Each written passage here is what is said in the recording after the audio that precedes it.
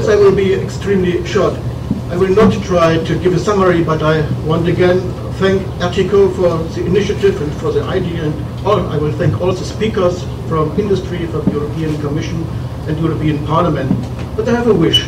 We as polit uh, politicians, we need your support also Yeah. in future.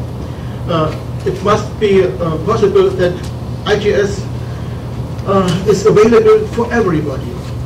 And if we have the next automobile fair, please, uh, my question to the automobile uh, producers, uh, send people to this fair which can explain intelligent uh, transport systems. Because I made the experience that nobody knows about these important things on fairs. Thank you very much.